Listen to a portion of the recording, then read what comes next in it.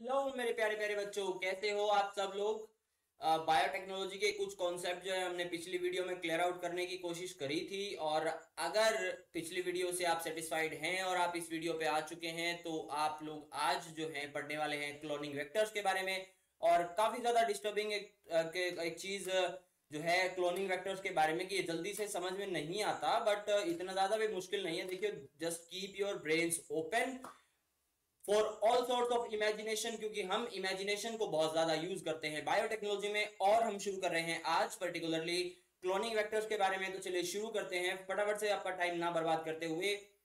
सबसे पहले इंडेक्स जो हमने पिछली वीडियो में पढ़ लिया था what is biotechnology scope of biotech and then we have history and timeline ये सब चीज़ें पढ़ते हुए nucleus endonucleus restriction endonucleus action of Eco R one ये किस तरह से काम करता है पेलेंड्रोमिक साइट्स क्या होती हैं, और वो सब वीडियो चीज़ें हम जो है पिछले में पढ़ चुके हैं तो अभी आपके पास आता है वेक्टर और वेक्टर आपके पास एक ही दिया हुआ है पीबीआर 322 बट इसके अलावा एक बहुत छोटी सी लाइन दी हुई है, जिसके अंदर इंक्लूड होता है पीयूसी 18 वेक्टर या इसे हम बोलते हैं लैप जी टू बी पर्टिकुलर आपकी जो चैप्टर नंबर 11 है that is principles and processes of biotechnology उसका जो क्वेश्चन नंबर नाइन है, वो है एंजाइम बेस्ड स्क्रीनिंग प्रोसेस तो उसमें वो सब चीज़ें आएँगी बट उससे पहले रेस्ट्रिक्शन एंजाइम जब हमने पढ़े थे तो उनकी क्या नोमन क्लेचर उनका कैसा होता है?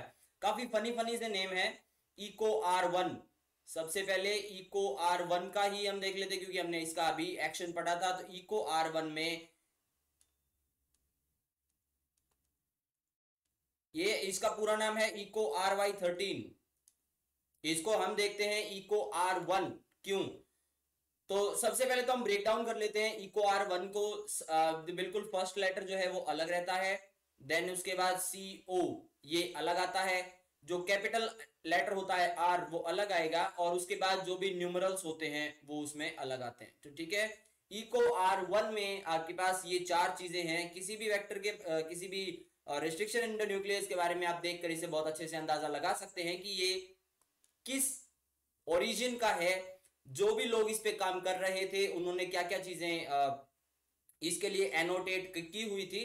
तो सबसे पहले देखेंगे ई ई या first letter this is always for the genus genus of the organism जिससे ये आइसोलेट किया गया था। उसके बाद होता है अगले दो लेटर्स पहला एक लेटर होता है जीनस का, अगले जो दो लेटर्स हैं that are always responsible for species उससे अगला लेटर होता है स्ट्रेन स्ट्रेन क्या होती है? जैसे ब्रीड होती है डॉग्स की लगाओ या आप बफलोज में या काउज में या किसी में तो ब्रीड जो होती है ना, वही चीज़ सेम एक ही स्पीशीज के ऑर्गेनिज्म है बट कुछ कुछ जेनेटिक डिफरेंसेस की वजह से वो स्ट्रेन में कन्वर्ट हो जाते हैं तो वो, वो उसे बैक्टीरिया वही ब्रीड्स जो होती हैं उसे बैक्टीरियल या माइक्रोब्स और प्लांट्स के केसेस में बोला जाता है स्ट्रेन और बिल्कुल लास्ट आपके पास जो है ये होता है sequence of isolation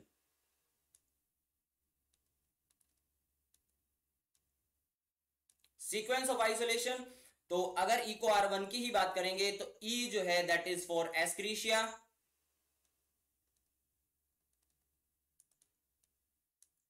species क्या है होती है इसकी? कोलाई अब आप लोगों को क्लियर हो गया होगा that E and C O is taken from genus and species. Then we have strain. Strain is r strain. As usual, it is strain and then sequence of isolation. अगर इसका पूरा नाम देखते हैं तो हमारे पास जो स्ट्रेन थी, वो थी आर वाई और इसे तेरहवें नंबर पे क्या है आइसोलेट किया गया था। तो that's how these restriction and nucleus are nomen इनका नॉमन क्या इसी तरीके का होता है? अब आपके पास यहाँ इस वेक्टर के अंदर एक, दो, ये डायग्राम जो है ना, सबसे पहले तो एनसीआरटी में दिया गया, ठीक है? तो ऐसा कोई सीन नहीं है, जाके आप उधर से चेकआउट कर सकते हैं, ये सब चीज़ें उसके अंदर रहेंगी। और हम सिर्फ़ और सिर्फ़ अभी फ़िलहाल के लिए इसके ऊपर जितनी भी रेस्ट्रिक्शन एंजाइम की रिकॉग्निशन साइट प्रेजेंट है, ठीक है? रिकॉग्निशन साइट के बारे में पिछली बार मैंने बताया था क्या होती है। Recognition sites are the specific set of nucleotides जो किसी भी रेस्ट्रिक्शन एंडोन्यूक्लियस को एक प्लेस प्रोवाइड करती हैं, एक लोकेशन देती हैं कि हमें यहाँ से काटना शुरू करना है। और ये लोकेशन जो है, इस वेक्टर पे प्रेजेंट हैं। वैसे तो होती हैं फोर्टी बट आपके लिए जो इंपॉर्टेंट है, वो है सिर्फ़ आठ। ठीक है जी? एट इसमें दी गई है। अब इनको कैसे यूज़ किया जाएगा, इसका फ़ायदा क्या है? वो अब अभी अभी जस्ट पढ़ लेते हैं हम। अभी है बैम एच वन ठीक है? फिर से इसी तरीके से इसको अगर हम अलग अलग से लिखेंगे, सबसे पहले आएगा बी फिर उसके बाद आता है अगले दो। आपको चाहे कितना भी अजीब लग रहा हो, आप हमेशा इसको इसी तरीके से लिखेंगे और फिर उसके बाद नॉमन करना इसका बहुत आसान हो जाएगा। ठीक है? अगर ये तीन वर्ड्स भी हैं, अगर ये तीन लेटर्स भी हैं तो भी आप इसको इसी तरीके से लिखेंगे, ठीक है? सबसे पहले इसको लिखो इस तरीके से। जो बी होता है दैट इज़ जीनस इस केस में ये होता है Bacillus M A M is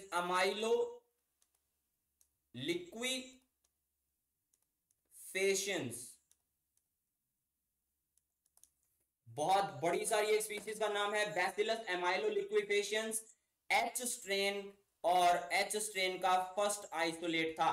तो ये जो बैम एच वन है, ये रेस्ट्रिक्शन एंडोन्यूक्लियस कहाँ से निकाला गया है? ये बैसिलस एमाइलो लिक्विफेशियंस एक बैक्टीरिया है। उसकी एच स्ट्रेन के का फ़र्स्ट आइसोलेट है। क्या? बैम एच वन इसी तरीके से हिंड थ्री की बात करें तो हिंड थ्री का पूरा नाम होता है हीमोफिलस इन्फ्लुएंजे ठीक है? अगर मैं लिखने लगूँगा तो काफ़ी ज़्यादा वो हो जाएगा मतलब बहुत लंबी हो जाएगी वीडियो बट आप लोग सुन लो और साथ ही साथ इसको लिखते चले जाओ। हिंट थ्री क्या है? Haemophilus influenzae D strain first isolate third isolate hint three Cla one is Clostridium latum it is Clostridium latum और बाद में दिया हुआ है one so it is first isolate there is no strain included then we have PVU1, this is Proteus vulgaris, first isolate, Proteus vulgaris.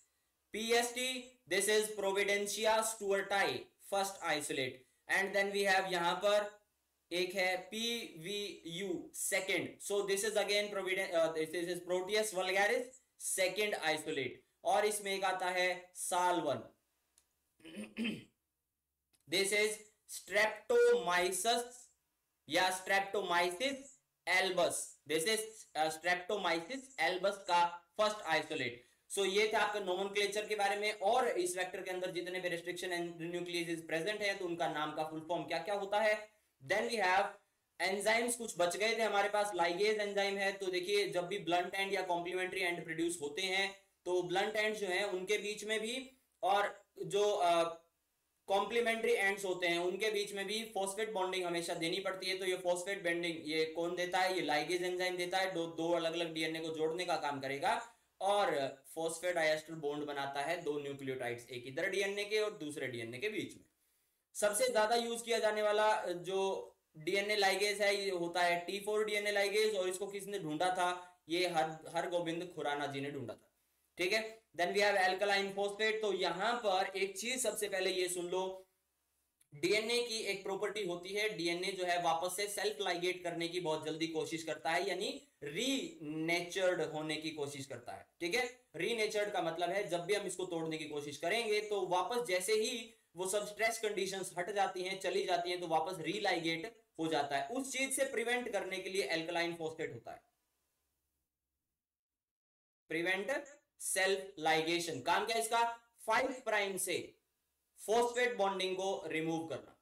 Five prime से phosphate bonding को remove करना, जिसकी वजह से जो सेल्फ लाइगेशन है वो प्रिवेंट हो सकती है। Clear this now we have the cloning vectors जो आपके पास पर्टिकुलर है। इसी वीडियो के लिए डीएनए मॉलिक्यूल्स क्लोनिंग वेक्टर्स होते क्या हैं? सबसे पहले तो ये होते हैं व्हीकल्स व्हीकल क्या? मॉलिक्यूलर व्हीकल्स बने किससे होते हैं? ये डीएनए से बने होते हैं। सर्कुलर डीएनए ठीक है? जैसा एग्ज़ाम्पल में आप यहाँ देख पा रहे हैं these are circular DNA and they can carry now they are particular ये कैरी कर सकते हैं किसे? जीन ऑफ़ इंटरेस्ट को कहाँ पर? होस्ट ऑर्गेनिज्म के अंदर। ठीक है?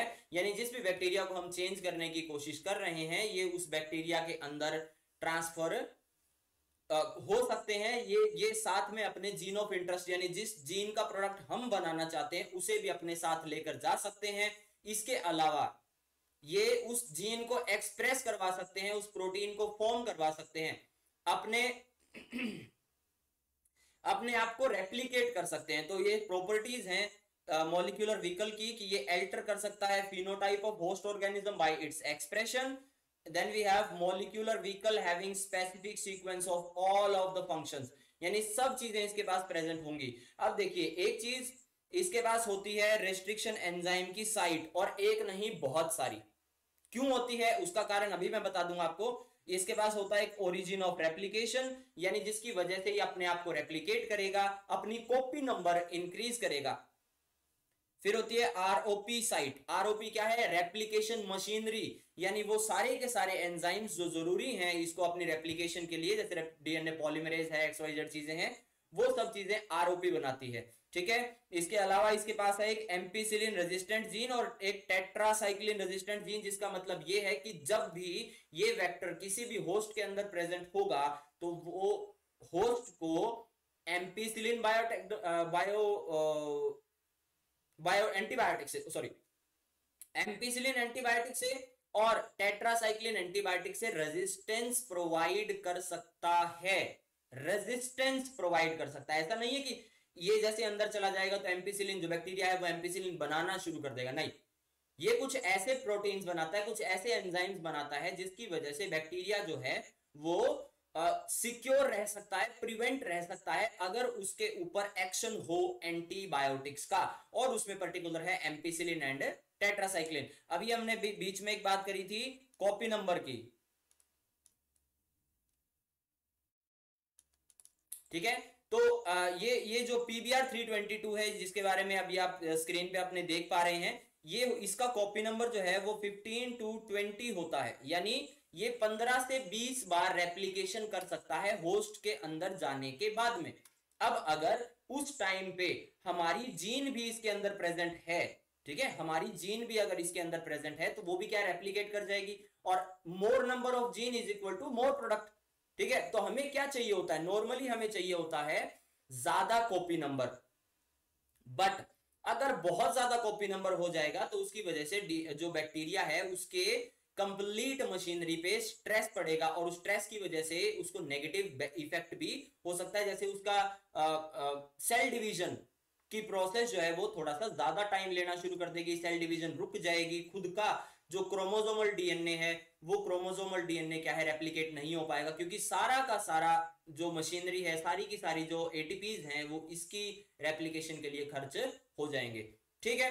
बट नॉर्मल कॉपी नंबर जो हमारे पास है, इस पीबीआर 322 के डिसेंट से माने जाते हैं नॉर्मली ये लो कॉपी नंबर में आता है बट स्टिल कॉपी नंबर जो है 500 टू 700 भी हो सकते हैं। कॉपी नंबर की एग्जैक्ट डेफिनेशन क्या है? The number of plasmid the number of replications that a plasmid can undergo. The cycles of replication that a plasmid can undergo in one organism in one cell ऐसा नहीं है कि एक cell के अंदर हमने एक प्लाज्मिड डाल दिया, वो दो सेल में कन्वर्ट हो गए तो दो प्लाज्मिड अलग अलग चले जाएँगे। नहीं, ऐसा नहीं। एक ही टाइम पे, एक ही सेल के अंदर कितने ज़्यादा प्लाज्मिड कॉपी हो सकते हैं, उसे कहते हैं कॉपी नंबर ठीक है? एक ही जनरेशन की मैं बात कर रहा हूँ। ऐसा नहीं जनरेशन चेंज नहीं हो रही सिंगल जनरेशन हमने इकोलाई में अभी डाला था, एक सिंगल सेल है, अभी उसकी सेल डिवीज़न नहीं हुई है।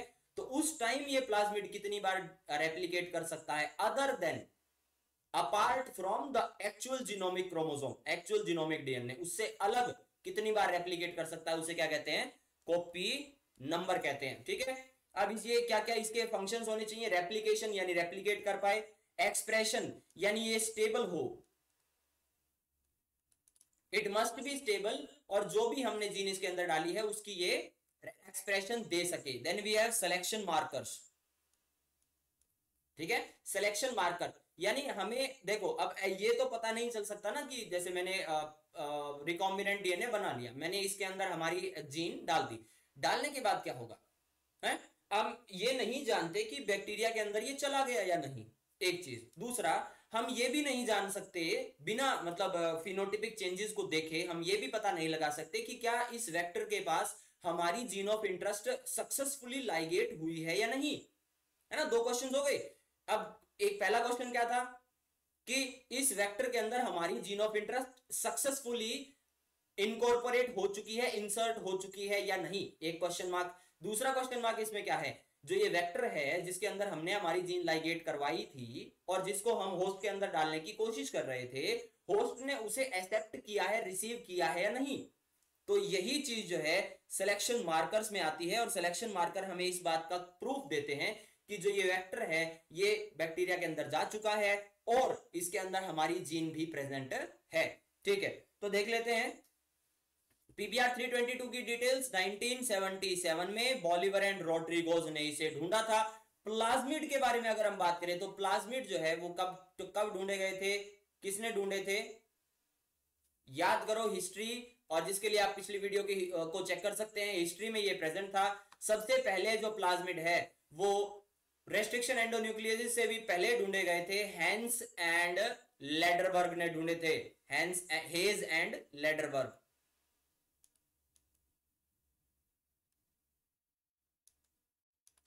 थोड़ा सा प्लाज्मिड के बारे में मैंने आपको तब बताया था, अभी भी बता देता हूँ प्लाज्मिड जो है वो स्ट्रेस की कंडीशन में सर्कुलर डीएनए होता है।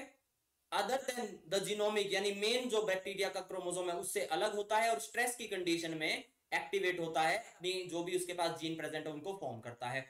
अब देख लीजिए पीबीआर 322 के पास क्या क्या चीज़ें हैं? एमपीसिलिन रेजिस्टेंट जीन है टेट्रासाइक्लिन जीन है ओरिजिन ऑफ़ रेप्लिकेशन है और रेप्लिकेशन मशीनरी है। प्लस में आप लोगों के लिए इंपॉर्टेंट आठ अलग अलग रेस्ट्रिक्शन न्यूक्लियोसिस की साइट है। अब इसकी हेल्प से जब भी हम vector trans gene of interest transfer करते हैं और फिर किसके अंदर वो ट्रांसफ़र हुई है, उन बैक्टीरिया को अलग से सेलेक्ट करते हैं। उन्हें बोलते क्या है? रिकॉम्बिनेंट यानी ऐसे होस्ट जिनके अंदर ये जा चुका है स्टैब्लिश हो चुका है स्टेबल हो चुका है और हमारा प्रोडक्ट भी प्रोड्यूस कर रहा है, उन सारे बैक्टीरिया को क्या बोलेंगे? रिकॉम्बिनेंट बैक्टीरिया इस टेक्निक को बोलते हैं antibiotic resistance based screening screening का मतलब सिलेक्शन वही मैंने आपको जब भी पीछे बताया था, ये सिलेक्शन ठीक है? इसे दूसरा नाम क्या दिया गया है? स्क्रीनिंग और ये काम किस तरह से करता है, अभी देख लेते हैं। Working of a vector vector सबसे पहले सपोज़ ये पीबीआर 322 था हमारे पास, इसको हमने काट के लीनियर कर लिया। ठीक है? कौन सा मैं यूज़ कर रहा हूँ? हम यूज़ कर रहे हैं बैम एच वन ठीक है जी? हमने यूज़ किया Bam H one Bam H one क्या करता है? किसी पर्टिकुलर साइट पे इस तरह की स्टिकी एंड्स को क्या करेगा? प्रोड्यूस कर देगा। ठीक है? अब ये वेक्टर जो था ना, ये पहले जो सर्कुलर था, हमने इसको क्या कर लिया? लीनियर कर लिया। पहली चीज़, ये तो ज़रूरी है। और लीनियर कौन करेगा? जो भी आठ रेस्ट्रिक्शन एंडोन्यूक्लियस की साइट प्रेजेंट है, उसमें से हम कोई भी एक यूज़ कर सकते हैं। पहली चीज़। दूसरा, अब यहाँ पे ज़रूरी चीज़ ये आती है। ज़रूरी चीज़ क्या आती है? अभी बता रहा हूँ, वो आती है जो जीन ऑफ़ इंटरेस्ट है। मैंने बताया जीन ऑफ़ इंटरेस्ट के दोनों साइड पे, यानी टर्मिनेटर के पहले सॉरी टर्मिनेटर के बाद में और प्रोमोटर से पहले फ्लैंकिंग रीजन प्रेजेंट होते हैं वहाँ पर। हमारे जो भी ये रेस्ट्रिक्शन एंडोन्यूक्लियस हैं, इनकी साइट प्रेजेंट होती है अलग अलग जीन पे अलग अलग होती है। ठीक है? सपोज़ हमने एक ऐसी जीन को चूज़ किया है, जिसके पास बैम एच वन की साइट है, और हमने डी जो वेक्टर है, इसको भी बैम एच वन से कटवाया है तो यहाँ पर कंडीशन क्या होगी? जो जीन हमारे पास आएगी, जिसके पास ऐसे कॉम्प्लीमेंट्री एंड्स प्रेजेंट होंगे तो पिछले का पिछली वीडियो का कॉन्सेप्ट याद करो कॉम्प्लीमेंट, कॉम्प्लीमेंट्री जो बेस पेयर हैं, कॉम्प्लीमेंट्री जो इस तरह से जो स्टिकी एंड्स बनते हैं, ये आराम से अलाइन हो जाते हैं और इनको लाइगेशन में कोई प्रॉब्लम नहीं आती। बट अगर मैं वेक्टर को कटवा देता हूँ इको आर वन से और जीन ऑफ़ इंटरेस्ट को कटवा देता हूँ बैम एच वन से तो उससे क्या होगा? उससे होगा ये कि इको आर वन की रिकॉग्निशन सीक्वेंस अलग है, ठीक है? वो भी स्टिकी एंड प्रोड्यूस कर रहा है। बैम एच वन की रिकॉग्निशन सीक्वेंस अलग है, ठीक है? वो भी क्या प्रोड्यूस कर रहा है? It is it is again producing sticky ends दोनों स्टिकी एंड प्रोड्यूस कर रहे हैं बट रिकॉग्निशन सीक्वेंस अलग है। तो ये जो जो स्टिकी एंड बनेंगे ना आपस में कॉम्प्लीमेंट्री नहीं होंगे। यहाँ से क्वेश्चन अराइज होता है that why we use same restriction endonucleus for cutting down the vector and for extraction and isolation और cutting down of gene of interest हम क्यों यूज़ करते हैं? इसलिए यूज़ करते हैं कि जो भी स्टिकी एंड बने, वो एक दूसरे के कॉम्प्लीमेंट्री हो। क्लियर है? ओके देन उसके बाद लाइगेशन करवा देते हैं हम ट्रांसफ़र होस्ट के अंदर। फिर उसके बाद स्क्रीनिंग प्रोसेस आती है और फिर सिलेक्शन ऑफ़ रिकॉम्बिनेंट आता है। यानी किस किस ने अपटेक कर लिया। तो वो प्रोसेस कैसे होगा? हमने किसको वेक्टर को किससे कटवाया है? हमने वेक्टर को कटवाया है बैम एच वन से। बैम एच वन की साइट कहाँ प्रेजेंट है? बैम एच वन की साइट प्रेजेंट है यहाँ पे।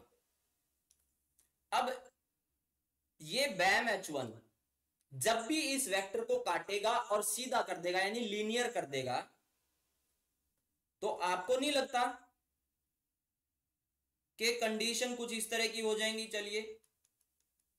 ठीक है ना? ये वेक्टर को कर दिया इसने लीनियर और वेक्टर जैसे ही लीनियर हुआ बैम एच वन की साइट जो प्रेजेंट थी वो टेट्रासाइक्लिन जीन के ऊपर प्रेजेंट थी तो टेट्रासाइक्लिन की जीन बीच में से नहीं कट जाएगी। कट गई ना? टेट्रासाइक्लिन की जीन बीच में से कट गई, आधी इधर चली गई, आधी आधे इधर जाओ, आधे इधर जाओ, बाकी मेरे पीछे आओ तो क्या करेंगे पीछे आके? जीन जो है वो कट चुकी है। और एक बात बताऊँ, जब भी जीन को हम काट देते हैं, एक भी न्यूक्लियोटाइड चेंज कर देते हैं, उसकी वजह से क्या होता है? जीन जो है वो साइलेंट हो जाती है inactive this will make the gene inactive ये जीन को क्या कर देगा? इनएक्टिव कर देगा। अब हमने क्या किया? अब हमने लिया हमारा जीन ऑफ़ इंटरेस्ट ये रहा gene of interest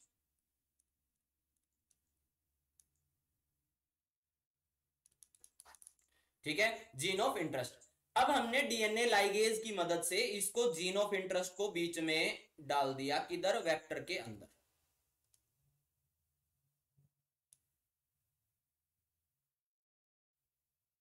gene of interest को जैसे ही हम वेक्टर के अंदर डालेंगे तो क्या जो टेट्रासाइक्लिन की जीन थी, जो पहले कट गई थी, वो रीलाइगेट हो जाएगी? नहीं हो सकती ना। आधी जीन अभी भी इधर प्रेजेंट है और आधी जीन अभी भी इधर प्रेजेंट है। क्लियर हो गई ये चीज़? टेट्रासाइक्लिन की gene because of insertion of gene of interest in between it वो साइलेंट हो जाती है। ठीक है? जीन ऑफ़ इंटरेस्ट के इंसर्शन की वजह से टेट्रासाइक्लिन की जीन जो है वो साइलेंट हो जाती है। The process is known as insertional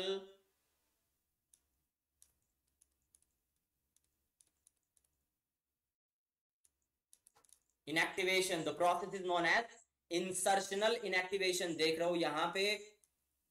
अब इसके बाद, इसके पास और क्या क्या चीज़ प्रेजेंट थे?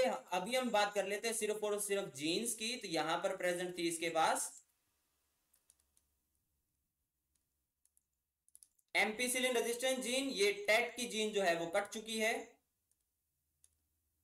और ये है हमारा जीन ऑफ़ इंटरेस्ट इधर ओ आर आई प्रेजेंट थी, इधर आरओपी प्रेजेंट थी, और ये है पीबीआर 322 की, जिसकी भी मैं बात कर रहा था। कटवाया किससे था? हमने इसे बैम एच वन से। क्लियर है? इतनी चीज़ समझ में आ गई? अब अगर कंडीशन देखो, यहाँ पे कुछ इस तरह की हो जाती है कि अगर इस वेक्टर को मैं डाल देता हूँ बैक्टीरिया के अंदर, ठीक है? ये है एक सेल और इस सेल के अंदर इस वेक्टर को मैंने डाल दिया।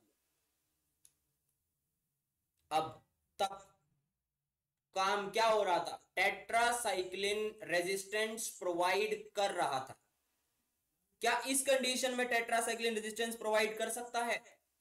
आफ्टर इट्स इंसर्शनल इनएक्टिवेशन क्या ये प्रोवाइड कर सकता है रेजिस्टेंस बैक्टीरिया को? एंटीबायोटिक से किससे? टेट्रासाइक्लिन से। नहीं कर सकता। ठीक है? तो इसी बेसिस पे हम देखेंगे ये कि क्या ये जो टेट्रासाइक्लिन है, इसने रेजिस्टेंस प्रोवाइड की है या नहीं? एम्पिसिलिन रेजिस्टेंस प्रोवाइड कर सकता है या नहीं? ये खुद से सवाल पूछो जरा। ये इसकी जीन जो है, वो एक्टिवेटेड है, इसकी जीन कटी नहीं है तो एम्पिसिलिन से रेजिस्टेंस प्रोवाइड हो जाएगी टेट्रासाइक्लिन से नहीं होगी। कुछ कुछ क्लियर हो रही है चीज़ें? तो देखो, इसका फटाफट से स्क्रीनशॉट ले लो, तुम्हारे पास ये फ़ायदा रहेगा। इसके बाद हम दोबारा से शुरू कर रहे हैं। पूरे प्रोसेस को।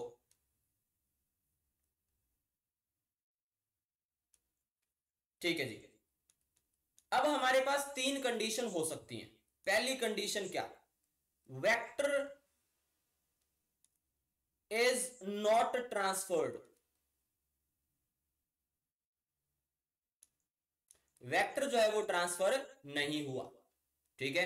अब अगर वेक्टर ट्रांसफ़र नहीं हुआ तो एम्पीसिलिन से रेजिस्टेंस मिल सकती है क्या? नहीं मिल सकती। टेट्रासाइक्लिन से रेजिस्टेंस मिल सकती है क्या? वो भी नहीं मिल सकती। क्यों?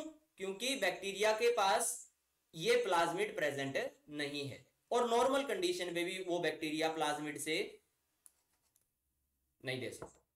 क्लियर है? सॉरी एंटीबायोटिक से। बैक्टीरिया एंटीबायोटिक से रेजिस्टेंस नहीं होते। ये वेक्टर उसे प्रोवाइड कर सकता था। ये प्लाज्मिड उसे प्रोवाइड कर सकता था बट प्लाज्मिड जो है वो ट्रांसफ़र ही नहीं हुआ। दूसरी कंडीशन आती है हमारे पास ट्रांसफर्ड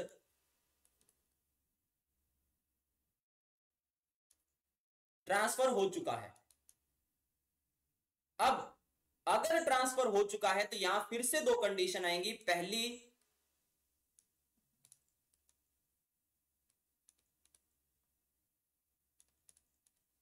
रिकॉम्बाइंड है या दूसरा एम्प्टी है। रिकॉम्बाइंड है या एम्प्टी है? कैसे? वेक्टर ट्रांसफ़र नहीं हुआ, दोनों से हमें कुछ नहीं मिल रहा। बैक्टीरिया जो है वो मर जाता है। हम साफ़ सीधा ये समझ लेंगे कि हमारा जो वेक्टर है वो अंदर ट्रांसफ़र नहीं हुआ। दूसरा वेक्टर ट्रांसफ़र हो चुका है। तो इसका पता भी हमें दो अलग अलग कंडीशन से लगाना पड़ेगा। एक, क्या वेक्टर के अंदर हमारी जीन ऑफ़ इंटरेस्ट लाइगेटेड है? सक्सेसफुली लाइगेशन हुई है या नहीं हुई? जिस, जिसको बोलते हैं एम्प्टी प्लाज्मिड वेक्टर अगर रिकॉम्बिनेशन हुआ है तो टेट्रासाइक्लिन मीडियम पे ये ग्रो नहीं कर सकता। ठीक है? जब भी हम एक अगार की प्लेट बनाते हैं, इसके अंदर न्यूट्रिएंट मीडियम डालते हैं, जिसके अंदर हम अगर टेट्रासाइक्लिन डालेंगे एंटीबायोटिक तो यहाँ पर ग्रोथ नहीं देखने को मिलेगी। सेम उसी बैक्टीरिया को अगर हम एम्पीसिलिन पे ग्रो करवाते हैं तो हमें ग्रोथ देखने को मिलती है। क्योंकि क्या कंडीशन थी? यहाँ पर जीन ऑफ़ इंटरेस्ट है।